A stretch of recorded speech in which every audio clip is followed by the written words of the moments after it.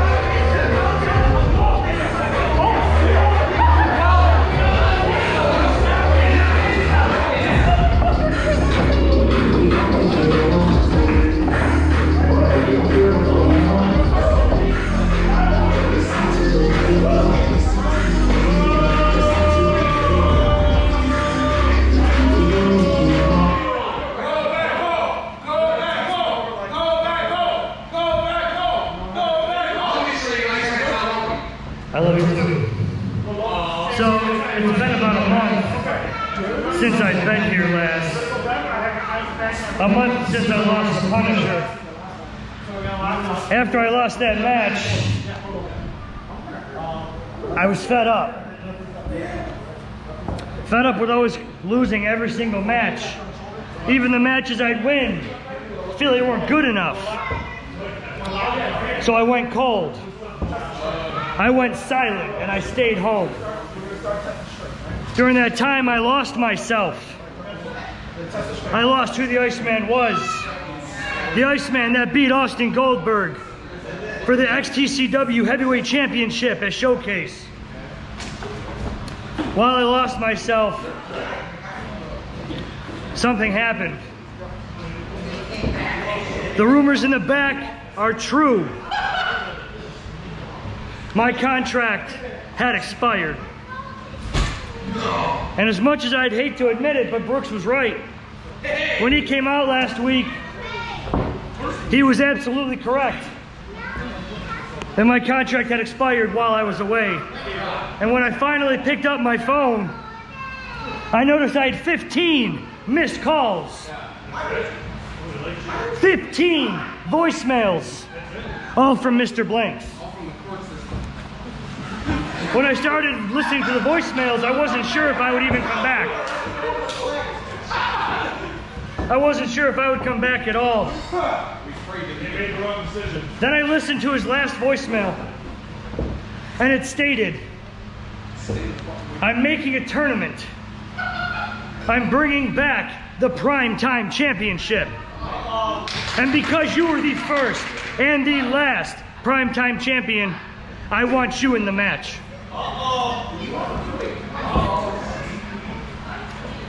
So I finally called Mr. Blanks back. And after getting reamed out for not picking up the phone for him, he stated that since the match was made the day before my contract expired, that my contract had been extended until the end of showcase.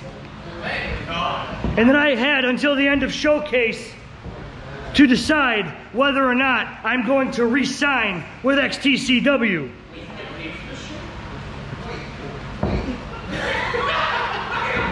Now, Brooks, last week when you came out here, I heard every word that you said. And while you may be right, I may not deserve to be in this, this tournament. I have beaten every single person that's going to be in these matches, and I can and will do it again. So at the end of the day, the end of showcase, if I make it that far, which I intend to do, we shall see whether or not I re-sign with XTCW.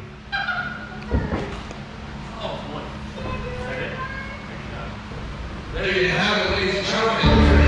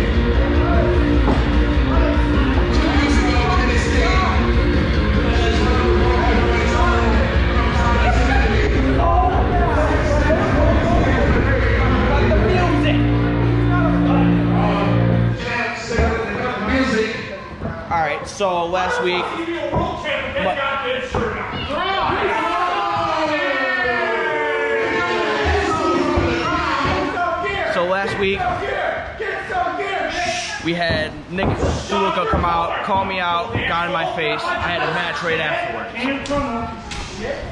So, what I want is Nick DeLuca to come out right now and say it to my face again.